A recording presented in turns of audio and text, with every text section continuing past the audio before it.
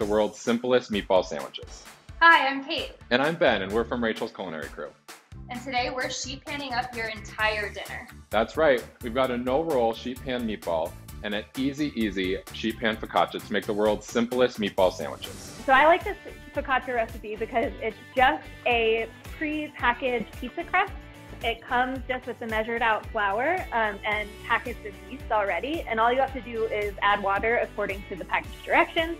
So while Kate's doing that, I'm gonna get started on the meatball mixture. I have a, a mix of pork, beef, and veal. I have one large onion that I sauteed in a little bit of olive oil with some garlic and crushed red pepper. So I'm gonna go ahead and add that to our meat. I am going to add a cup of breadcrumbs. I've got two whole eggs here that I'm gonna add to half a cup of milk, which is gonna add a lot of moisture because we do not want a dry meatball. And I like to break up the yolks before adding it to the meat mixture so I'm not chasing around yolks while I'm mixing.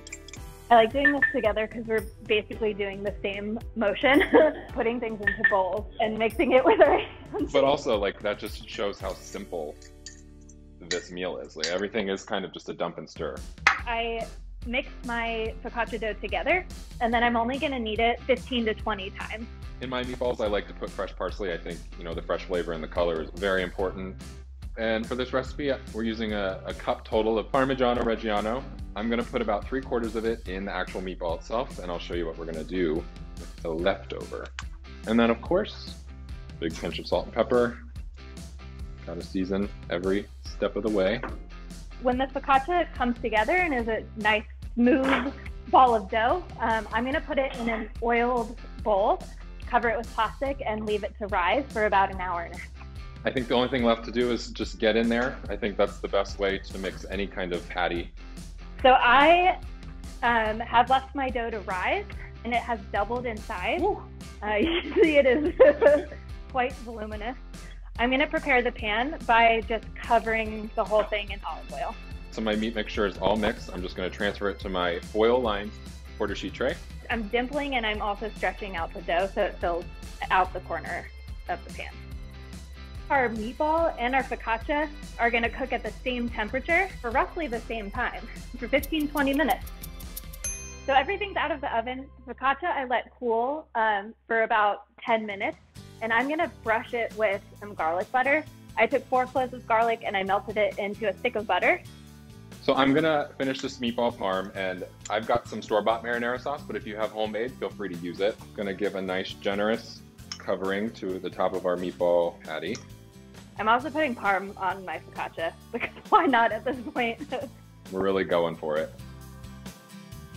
So we've sauced it. Now we've got some shredded mozzarella cheese. Cover generously the entire surface. I put some parm on it. Sure, you want to put this parm on there too? While we're at it, just parm it up. It's a parm.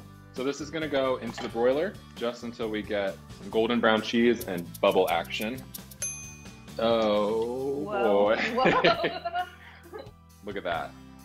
All right, send us home, Kate. Send us home. So I'm going to take the focaccia and put it on the cutting board.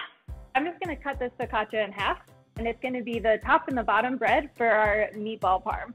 I'm gonna come in from this side. This really is a two-person job. it's like airlifting I don't a recommend. meatball. I don't recommend doing this with one. Ready? Yep. Yep. Look at that. we stuck the landing. Kate, I forgot something. I forgot the basil. It's not a parm without some basil. Drop some in there, drop some over there. Now it's perfect. You can obviously make these sandwiches as big or as small as you want. I'm gonna serve these up